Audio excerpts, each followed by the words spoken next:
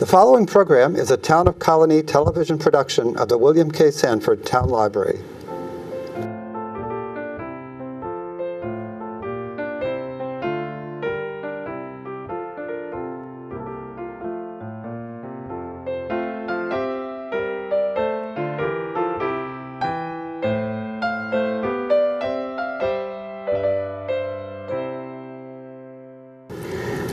Welcome to an open door on the arts.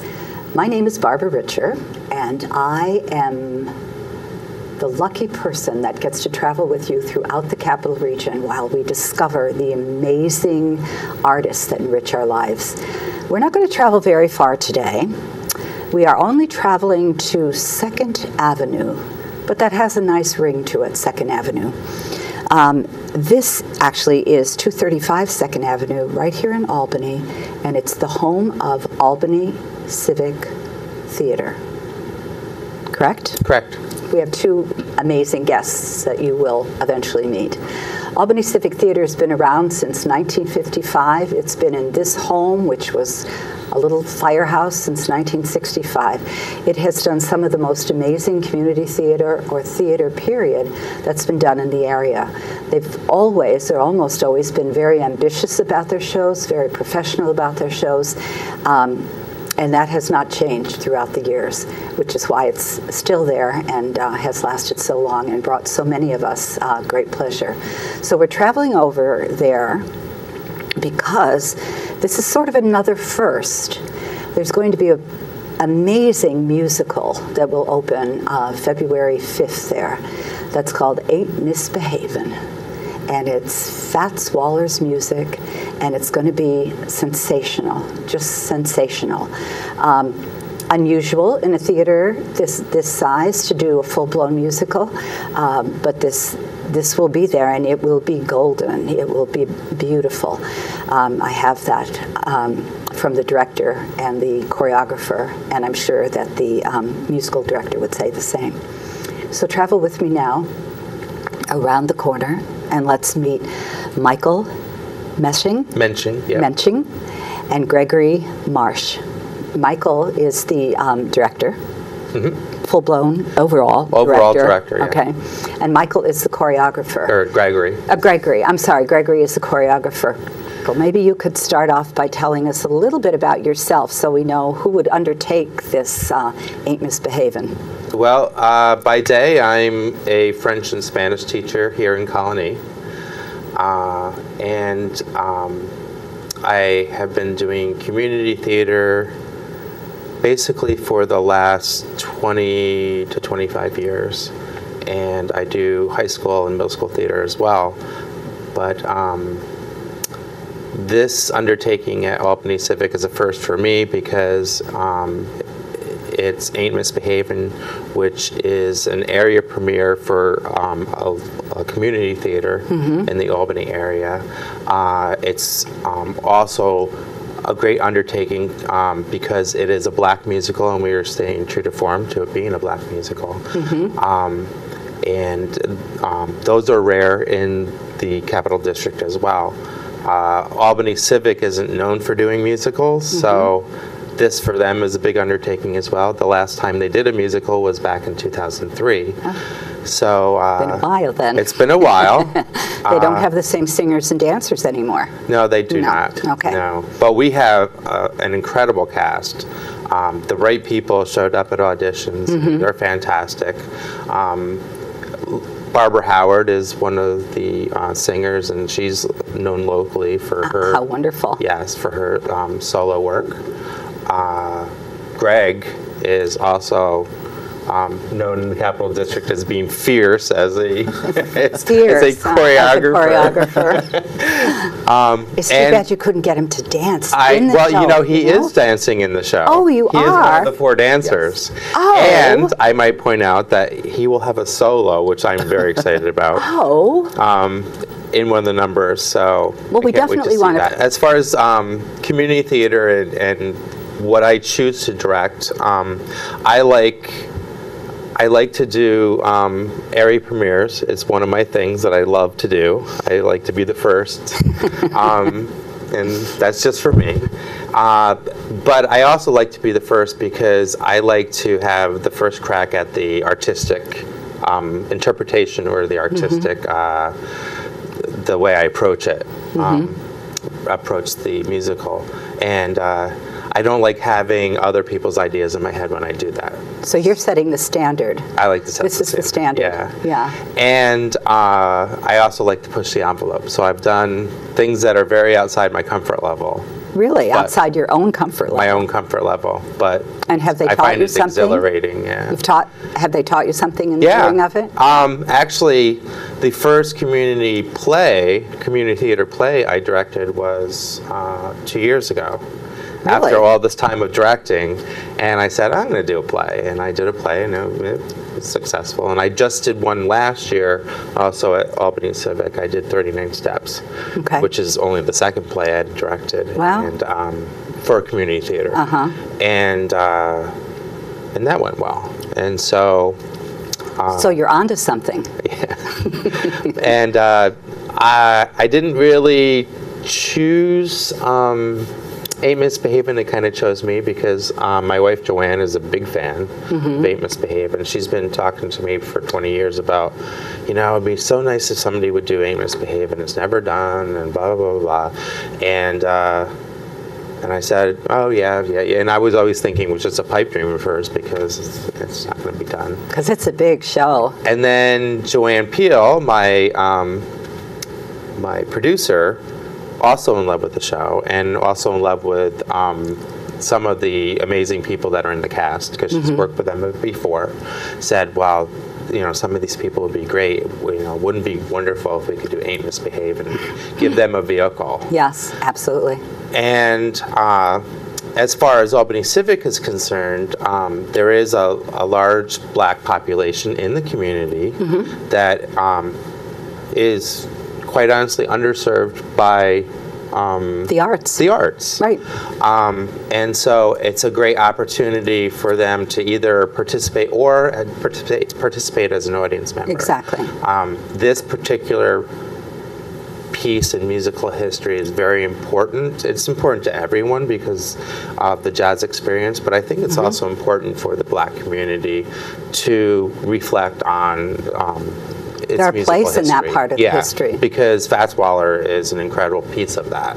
Yes. Uh, and what a wonderful opportunity to offer that in uh, in the, the community that Albany Civic services. Plus, it's a reflection of the, well, it's a, a reflection of the 20s and 30s, that whole Harlem Renaissance, you know? Um, so it's, it's, African Americans were hugely part of that experience, Yes. and, and we don't celebrate that often enough, you know? So it's, uh, it is absolutely um, a, It's a- a- an essential piece of history. It's an essential and it's it's an integral part of jazz, Mm-hmm. um, the jazz culture, and um, Well, when you think of the Cotton Club and the Yeah. Savoy and everything that was going on down there and in there, and, and the big changes that, that, that the music brought about and everything, it's um, it's incredible that uh, there aren't a whole lot more plays that reflect that. But this one certainly is one of the biggest. and before I submitted it, I talked to Greg and I talked to Brandon Jones, who is our musical director, and I said I'm going to propose this to Albany Civic. And they said, "Oh, nah." No, they jumped at it actually, and then um, because I don't think I would do it without them. Yes. Um, I think it's really, really important that um, that you have a black perspective on it. Um, Oh, no, absolutely. And I would, I wouldn't, I wouldn't dare to try to put my own perspective no, there's no question about um, that. I'm I'm great at stage pictures and placement, and um, but I really am depending on them a lot and the actors as well to bring that um, true Mm-hmm. Alive. yeah, true Yeah. experience alive. Even though it's historical for them, Mm-hmm. um, but um, it's a part of their history that I don't want to infringe upon either. Excellent, very excellent, Greg. Well, I immediately Gregory. said yes. uh, when he asked me to do the show, um, I maybe thought about it for three seconds, and I said yes. Um, simply because initially my thought was, these kinds of shows don't get done around here. Um, I've done a lot of shows locally, and it's very rare that you get one where you have a whole cast of black people. So that doesn't happen. Um, so when he asked me, I said yes, and I immediately started thinking, well, we need to get as many black people on this stage as possible. Mm-hmm. So I said, you know, let's incorporate some dancers in because the show traditionally is done with just singers. Oh, I don't Just think I five knew singers. that. It's usually oh, I just don't five think I singers. realized that. Um, so I said, And the choreography is minimal in the Right. original. I don't think I realized that. Okay. So then I immediately thought, well, let's get some dancers in here too. So it's created an opportunity for us to showcase amazing black singers locally, but also these young, amazing black dancers. How wonderful. And there's so much talent here. Yes. In, in the capital region. It's really it's an untapped resource. You're right. So, how do you, um, having spent a little bit of time on the Albany Civic stage, how do you um, how do you get dancers and singers? Is it a large enough house to have I all of think it those is. things I think happening it at is. once?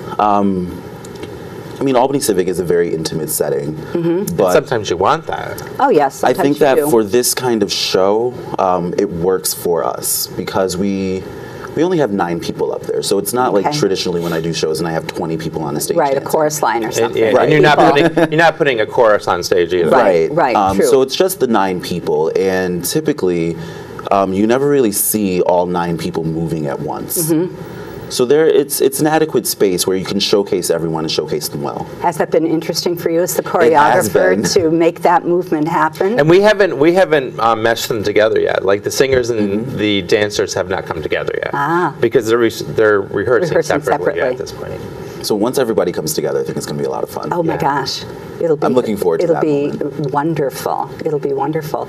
Now, how did you get started in? How did you become a choreographer? How did you end Uh, up here in Albany? Well, um, I started dancing at the age of six in Brooklyn. Wonderful. I started in ballet and then Wonderful. jazz. Um, and then I said, I don't want to really do this anymore. Um, so I stopped How old dancing. were you when you said I don't want to do this I was about 10. Okay. Um, and then I moved to Albany shortly after. Okay. And then once I moved to Albany, I really didn't do anything. And then freshman Well, year of in high the school. arts, but you did a lot no- of other things. Well, no, I, I wasn't. I wasn't playing sports. I wasn't. Oh, you did I nothing. stopped dancing. I didn't sing. I didn't do anything. Um, and then a friend kind of forced me into auditioning, and then that kind of sparked things up again. And I would say I was about 14 when that happened. Mm-hmm. And I've been doing theater in Albany since then. Interesting and great.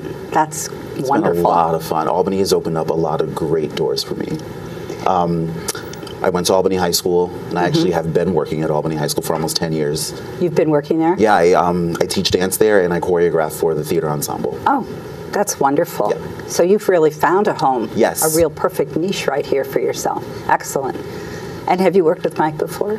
Mike? Uh, this is what our Third or fourth. This is our third show working together on a production team, but um, our fourth show together overall. Yeah. so do you do always um, mu- musical work? Must Pretty not. much. um, I mean, I've done some stuff outside of musicals here and there, but pretty much that's what I'm known for is Okay. choreographing musicals. Okay. But I met him as an actor in Yes. one of my shows. That was in Parade. I was 23 years old, and I played a man who was maybe in his 60s or 70s. It was a complete transformation. Wow. yep. But he was phenomenal. Yes. That's amazing. He had a great director. Oh, yeah, well, that, that's always part of it. That's always part of it. But as, as a person that has done a lot of acting, you bring the talent. You bring the talent. So. But his choreography is fierce. yeah, I imagine. Um, I actually I don't act as much as I used to. Yeah. Um, most of what I do now is Production work gets in the way of Yeah, acting. I mean, I'll I will nine times out of ten I'll take a choreographing job first over an acting job. Mm-hmm. Is that where your heart lies? Yes, Okay, that's good. That's, I love creating. I love getting the best out of people. Now, have your folks that uh, the other three folks that dance uh, this, are they um, dancers by background or anything? Um, They would probably say d- that they're not, but I think of them as dancers. okay. One of them is actually one of my students at Albany High School. And one of them is one of my students at Colonie. Isn't that great to be able to introduce young people to to the theater in this way? Have they done theater before? Either one of them? I know um, Sean has. Sean actually, we uh, we just did Legally Blonde together in the fall at SLOC. Okay. And, and okay. Milani has uh, Also. on the high school stage. Okay. That's wonderful. And Greg is actually going to back to school to become a uh, teacher. Yes, I am currently in school um, in my senior year right now. It's uh, SUNY Albany. Good for you. Thank you. Good for you. You're a man for all seasons. I guess so. Busy everywhere. And you sound like you're inspiring and, and proud of the inspiring that you're doing and some of the folks that you're meeting. Yeah. That's great. That's so very excellent. So this sounds like a cast that's really going to have a lot of fun working together on this. On this. Oh, they're piece. having a blast. Okay, cool. That's excellent. Yeah. That's excellent. and what's great is that um, it's nice generationally to see this kind of cast because you have, I think the youngest person in the cast is 16. Mm-hmm. Um, and then the oldest is maybe what 40s, 50s maybe, Uh, no, 50s. 50s. Yeah. 50s. Yep. Nice spread. Yeah. Nice reality spread too. Yep. That's what was happening. You're kind of in the middle there. I'm right in the middle. Yeah. it, it has a nice um, timing too for uh, for the area in terms of the in terms of the, the piece itself because Mm-hmm. It's Black History Month. that's right. It opens February 5th, right? yes. Opens February 5th. Black History Month. Yep.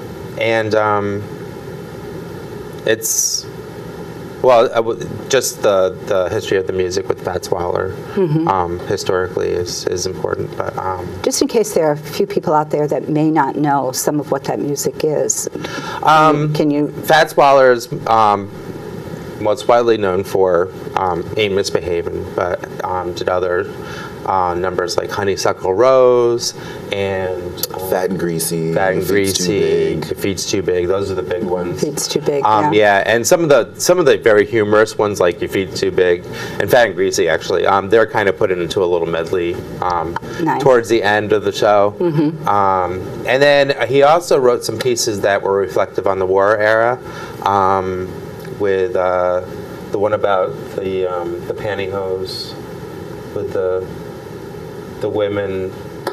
Oh, in the first act. Yeah, in the Yes. first act, there's well, like that, whole, a- that whole sequence. There's is a little four sequence or five songs. of four or five songs that reflect on what women did during the war. Oh, nice. Um, so um, it, it, it does have a, an historical um, So give us to the it. give us the era too. I mean, I know we've talked about it's the, the Harlem Renaissance, but Yeah. if, if people can't kind of put that in an, an area, now you're talking about maybe uh, late 30s, early 40s for the war effort. Mm-hmm. Yeah. Okay, and so music and out even of a reflection on the, on the First World War as well. okay, so music from Yeah. first to second World War era. Yeah. The jazz, the 20s and, the, and the 30s. Fats Waller was born in 1904, um, and uh, he died very early. He died at the age of 39. you, you told me that last evening. I did not which realize that. um, when you think about how many songs that he um, created that were so phenomenal Right. in just a short span of time. Um, he uh, learned music, learned to play the piano very early, Mm-hmm. but was inspired um, after his, his mother died. He went and lived actually with another jazz um, pianist, and he influenced him greatly on the whole jazz experience and so mm-hmm. forth, and mm-hmm. got him really into it. And he uh, started writing, you know, very early, but what a loss if you reflect on the fact he was only 39 when he 39 died. when he died. Yeah. So he died in 1943, which is, you know, mm. right around 2nd mm-hmm. World War era.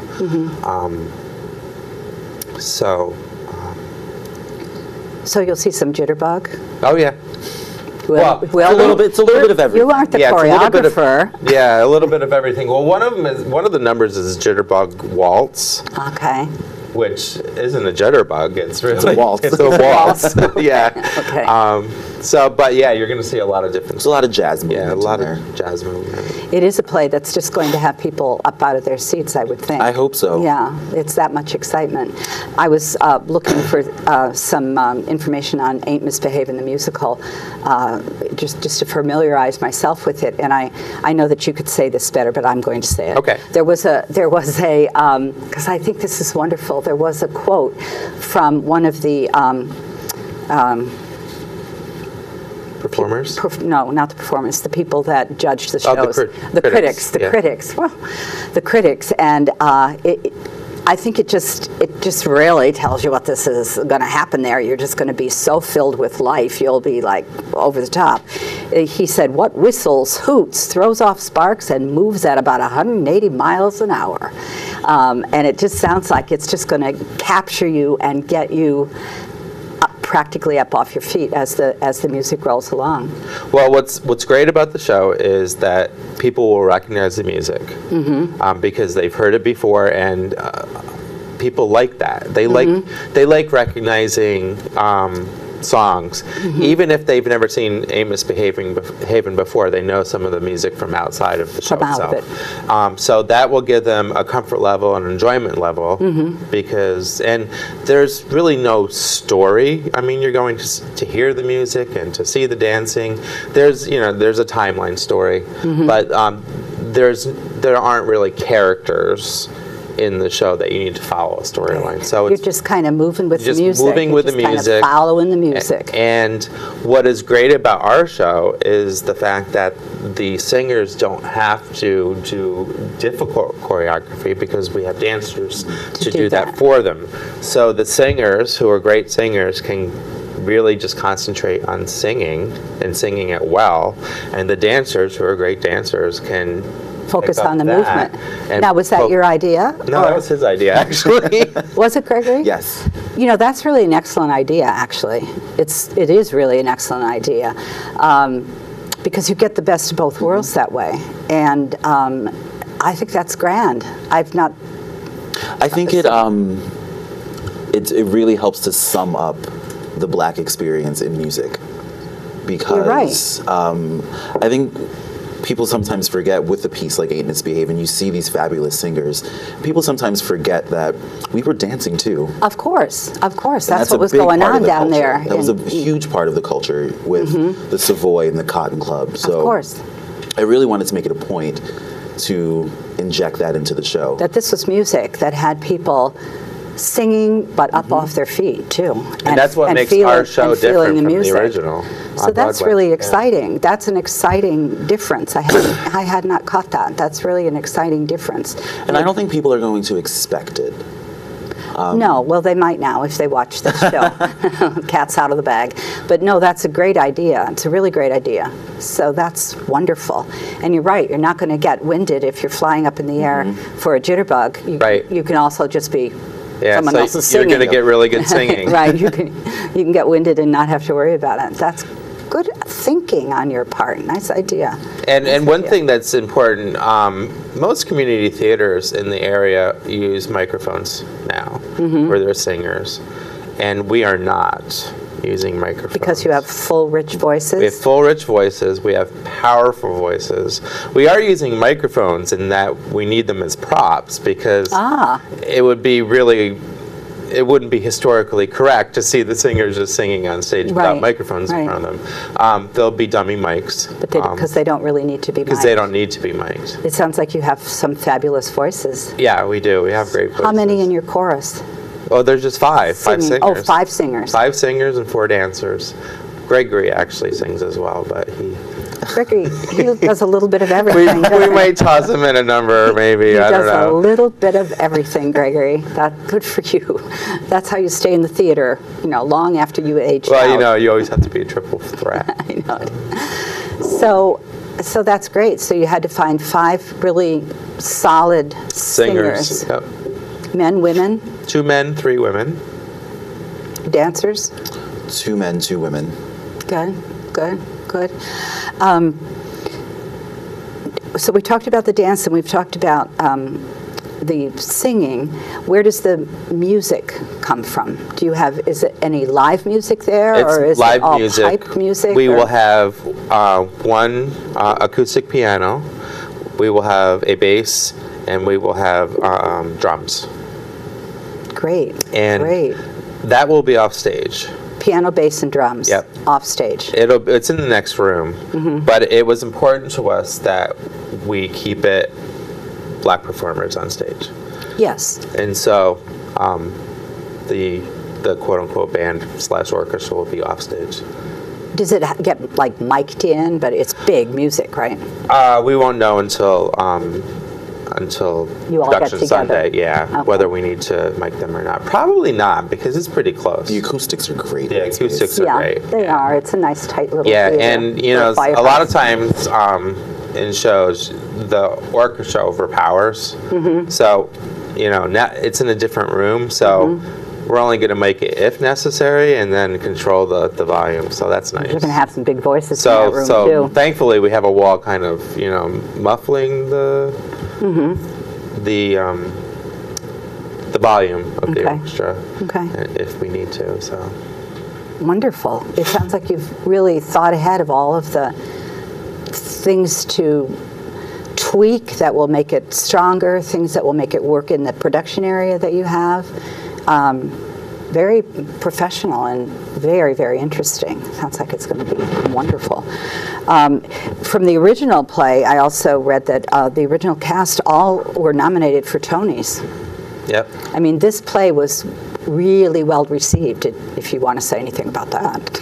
It uh, it did really well. It was uh, a vehicle for Nell Carter. It made her, Mm-hmm. you know, a household name, and she was incredible in it. And what a loss! Oh, we know her voice. Yeah. You know, we know her voice, and her spirit just moved. And Charlayne Woodard is actually um, from Albany, one of the cast members of the original. And tell and remind our listening, au- listening and looking audience who Charlayne Woodard is, because they may not realize it. Well, uh, Charlayne. Um, You've seen her in everything. Yeah, you've seen her in everything. Um, what I love to watch her in is um, Law and Order SVU. She Sister plays Peg. Sister Peg, and I love Sister Peg. I love that character. Yes. Um, what would you like to see this mean to the um, community, uh, not just around Albany Civic Theater. it's Theater? important for the black community because it's part of their musical history. Exactly, And and it's part of everyone's musical history. Exactly. But they they have, uh,